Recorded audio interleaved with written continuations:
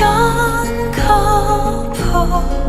짚고 일어서려는 손 긁히며 달려 멍들고 지친 발 여기며 마지